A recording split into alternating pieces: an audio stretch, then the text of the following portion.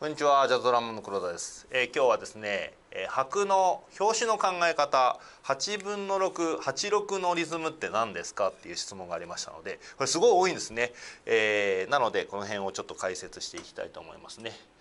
で、まあ、今ここにちょっと上げたこのメロディーってこれをまあいつかおじさんがあこれ調合抜けてますね。これ、えっと、B フラットなんですが「タラララララ」っていうのがこうこれで「ワータンタタンタタン」っていうふうに書くか「タタタタタタ」で書くかね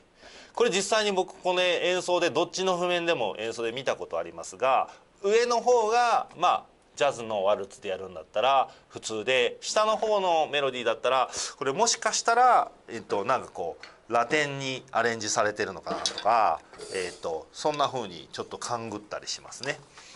でこの分母を4で取るかこれ分母を8で取るかっていうことなんですが分母は要は2の倍数2分音符か3分音符じゃないですから4分音符か8分音符か16分音符か32分音符かしかないんですけどそれを、まあ、1分音符っていうのもあるんですけど基本的には2481632ぐらいまでですねっ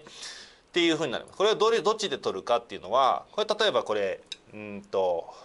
これ著作権切れてないのでなんとえっ、とワンノートサムタッタタッタタッタッタッタタッタってやつねこれね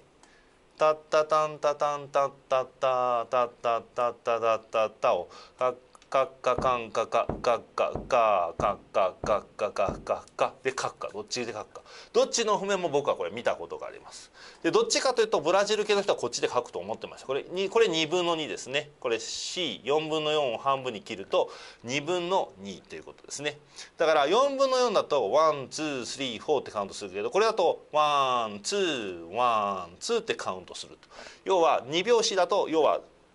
演奏してる時って要は one two が強く感じてるけど one two three four one two three four って数える両方あるんだけどこの曲はどこのフィールが一番でかいかっていうのをここで示してるってこと。ですね。だから4分4で書いたとしても結局演奏する時にあこれフィルがにインツーなのねっていうこれよくインツーって言うんですけどワンツータタタダスタスタスタダタタンタダタタこれタタタダツタツタツタダタっていうふうに取るとボサノバっぽくないじゃないですか。なのでこれ4分ので書くとそうすると何が違うかってこれ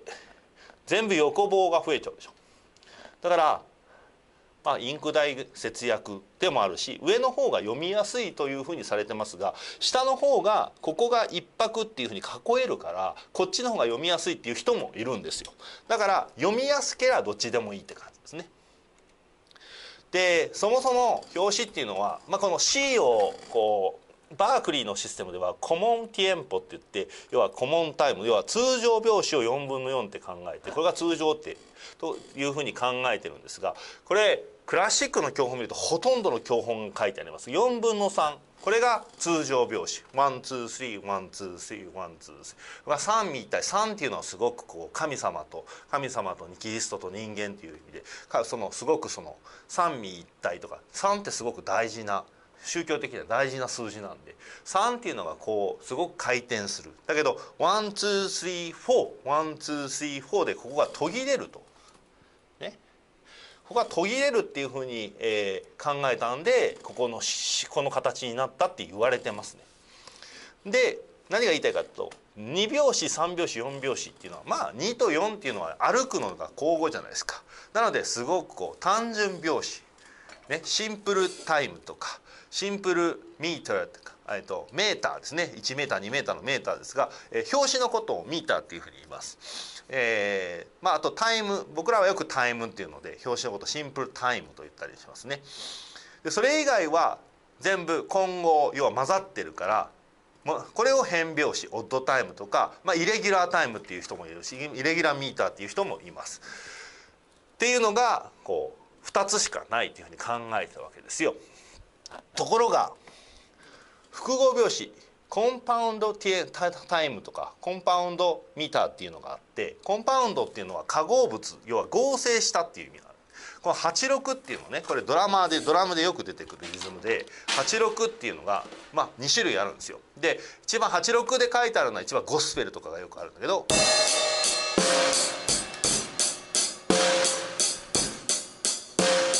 これねこのリズムよく聞くと思うんですがブルースとかでもよくあるね。このタイプのやつの書き方はこの右側のこのこの右とねこれこっちで書いても全然構わないんですがこれだと上に3をずっと書き続けなきゃいけない。でこっちだと8分の68分音符を6個で要はこれって3拍子と2拍子が合体してませんか？ one two three one two three one two three と one two one。いうスタイルね。だから8分の6と8分の12は、まあ、表記が違うだけねこっち。8分の12で書くか8分の6で書くか。あと8分の9も複合拍子と言われる。one two threeえっ、ー、と。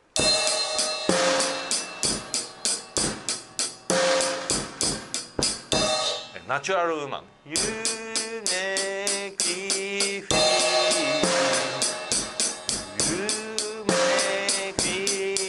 8分の9ですねえーと、あと「 Amazing Grace」とか8分の9で書かれることがありますが8分の6とか8分の12とかっていうのはこれは複合拍子コンパウンドタイムと読みます要は2拍子と3拍子が合体してて一定だからだから一定だからシンプルテンポに近いでしょっていうシンプルタイムに近いでしょっていうことなんですね。で書き方としてはだから3が全部上にあるとまあこれも要はインクの節約？でインクの節約って面倒くさいんですね。上に3をずっと書かなきゃいけないから。こっちだと上の3が省かれるしその分点をつけないとここが2分4分音符のままだと3個入っちゃうから1拍半にすると1.5倍にするとちょうど3つ分になるんでちょうどいいから基本的には全部こう四分音符には符点をつけなきゃいけなくなるんですね。ここね。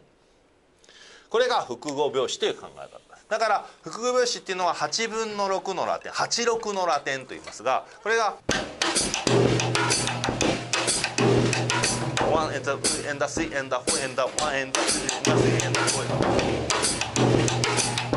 で8六で書くとこうなるし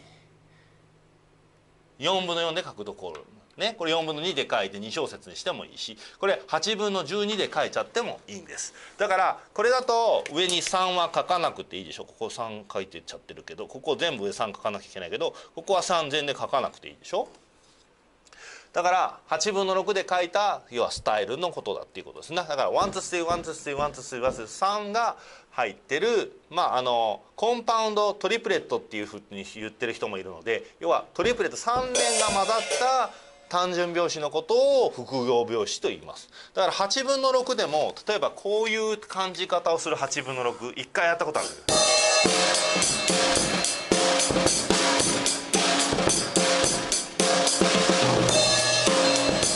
これだと4分の2と4え4分の4と4分の2えっ、ー、と8分の4と8分の2が one two one two one two。長さが違うのでやっぱ odd time。ちょっと変なリズム。要はこうビートが単純ビートが毎回毎回切り替わるスタイルのことを混合拍子変拍子と僕ら読みます。だから8分の5拍子ね。だからえっ、ー、と「ダダンタダンタ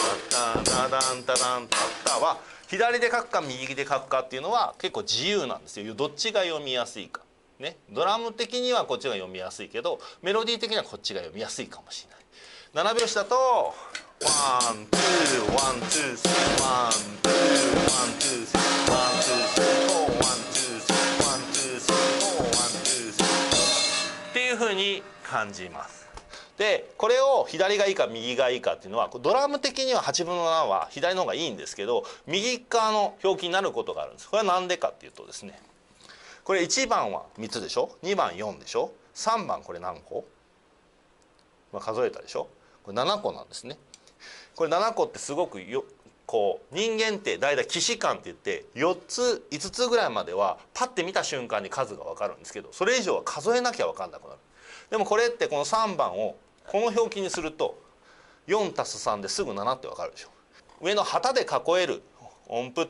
にする方がまあ要は表紙が分かりやすいことが多いのでこういうふうにして分母をそれで取ったら方がいいよというお話でございました。だから8分の6と4分の3っていうのは何が違いますかって言ったら表記的に違うだけで基本的にはビートは一緒です。だから4分の3だから123123ってやっぱ4分の3でも12312取るし8分の6だから12312取るか一緒なんですが8分の6で書いてあるとなんかリズム的にはドラム的には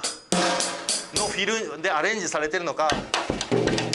こういうラテンにアレンジされてるのかなって一瞬思っちゃうみたいな感じですね。だから8分の6でこのダンダンカダンダンで演奏してって言われたこともしょっちゅうあるんでこれはもうその人が読みやすかったか読みにくかったかそのメロディー的にこっちの方が読みやすいリズム的にはこっちの方が読みやすいっていうのがちょっとあってそれ的に僕は書き直したりすることもあるんですよ。だからパッて見た時に読みやすいか読みにくいかで表紙の最初の分母っていうのは何を取るかっていうとその曲の雰囲気がもう表紙を見た時表紙記号を見た時にあこういう感じねっていうのが分かるかどうかっていうことが大事であってただそれが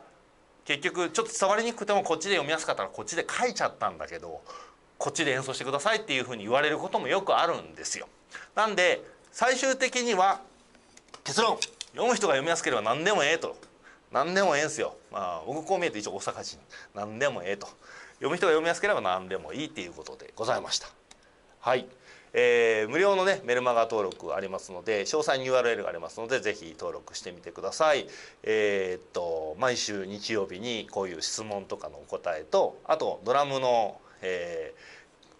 ー、あの教材ですねジャズの、えー、ブルースが叩ける、えー、ビリーズバウンスが叩けるっていうやつとあとセクションのえ、練習方法みたいなやつが、え、送られてきますのでよければ、え、無料ですので登録してみてください。ちょっと難しいことばっかり言ってるかもしれないですがまあスルーしながら、え、面白いとかだけど読んでもらえればと思います。どうもありがとうございました。